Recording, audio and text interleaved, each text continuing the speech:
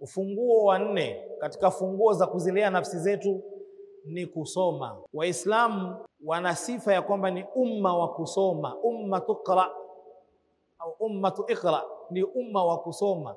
Ndio umma pekee ulioanzwa wahyi na kusoma. Wahyi wetu umeanza na neno kusoma.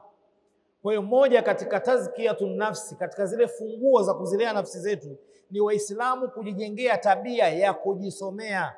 Na kusoma hapa haizungumzwi kusoma Qur'ani peke yake. Hapa sasa ni kusoma chochote kile ambacho kitakuwa na manufaa kwako, chochote ambacho kitaijenga nafsi yako katika uwanja mmoja katika nyanja mbalimbali ambazo mwanadamu anazihitajia katika maisha yake ya kila siku.